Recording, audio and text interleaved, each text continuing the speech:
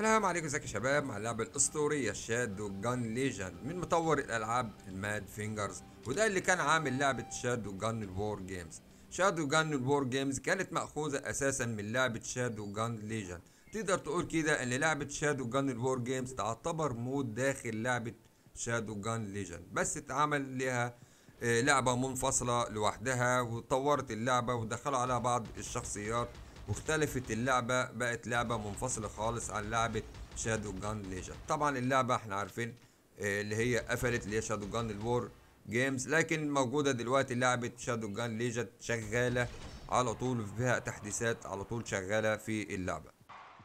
المهم يا شباب هنتكلم دلوقتي عن Shadowgun Legend لو أنت لسه مبتدئ في اللعبة وما أنتش عارف تلعب اللعبة أو تبدأها إزاي أقدر أقول لك يا صاحبي دلوقتي هقدر أقول لك على كل حاجة بالتفصيل. ده المكان اولا اللي هو فيه تجمع اللاعبين الخاص كل اللي بقى ما هو منتمي للعبه بيبقى موجود داخل المكان ده. لكن في شخصيات بتلاقيها ثابتة في مكانها والشخصيات ده ليها أدوار مهمة هي بتعملها. يعني تحس إن هم كده واقفين في محلات بيبيعوا ويشتري. ده حقيقي فعلا.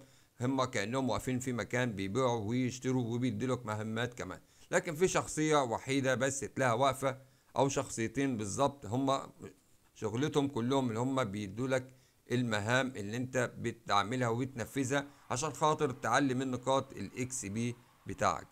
وأول شخصية طبعا هتقابلك في اللعبة هي الشخصية اللي موجودة قدامك دي اللي هي ال mission control وده هو بيدي لك المهمة عشان خاطر أنت بتنفذها عشان تعلى بنقاط ال XP الخاص باللعبة.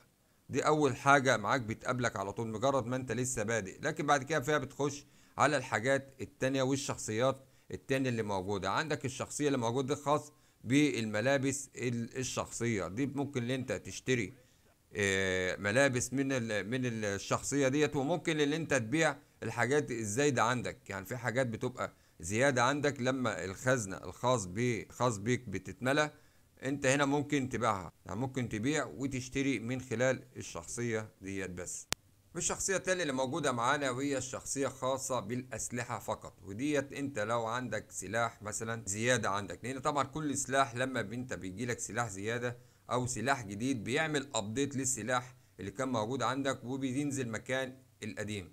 فأنت بيبقى عندك مجموعة أسلحة آه، زيادة. وده بيبقى بيملي بيعمل ضغط على الخزنة أو مكان التخزين اللي هو الخاص بيك. فطبعا بيجي لك طبعا إشارات إن الخزنة عندك اتملت. فانت لازم تستغنى عن حاجات موجودة عندك. فانت بتروح هنا حاجات خاصة بالأسلحة بتروح تبيعها منها وفي حاجات برضو ممكن تشتريها. نيجي بقى لأهم شخصية موجودة داخل اللعبة وهي شخصية ال War Games وده اللي كنت اتكلمت عليه في الأول الفيديو اللي هي لعبة War Shadowgun ال War Games متاخدة منها. طبعا هو هنا برضو بيدي لك مهمات لكن ال War Games المودات بتاعته جامدة جدا وهي ديت يعتبر أحلى حاجة في اللعبة. ده لما بتضغط أنت هنا على الترس ونيترو وتنزل تحت الميشن عندك ال- الميشن والوور جيمز تضغط على الوور جيمز بيفتح لك جميع المودات اللي موجودة داخل اللعبة. طبعا المودات هنا يا شباب جامدة جدا فوق ما أنت تتخيل. لكن هنا هيقابلك حاجة واحدة بس الصعبة هي نقاط ال XP لا كل المودات ديت ما بتفتحش في الأول. لازم أنت تعلى بنقاط ال XP عشان خاطر ال mode بتاعك أو ال- ال mode يفتح معاك. طبعا أنا ما عنديش غير 65 ألف XP فقدرت أفتح اللي هو 1 by 1 واللي هو ال- ال Brother.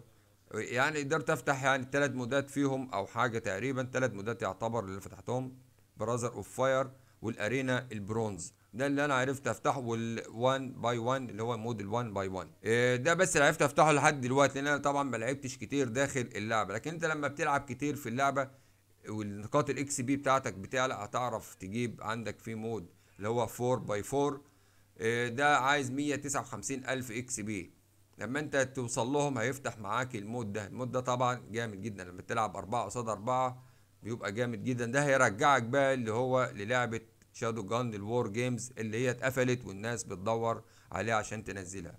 ونروح على طول للشخصية الأخيرة وشخصية بيدرو Legendary ودي الشخصية ديت يا شباب في حاجة اسمها الهولوجرام والهولوجرام ده انت لما بتعمل له ديديك أو decode يعني بتحط بتعمل له put داخل المكان دوت عشان خاطر ممكن يطلع لك منه إما أجزاء من الملابس أو سلاح جديد يطلع لك منه. الحاجات دي طبعا بتجيلك اللي هو الهولوجرام بتجيلك من المهمات اللي انت بتعملها.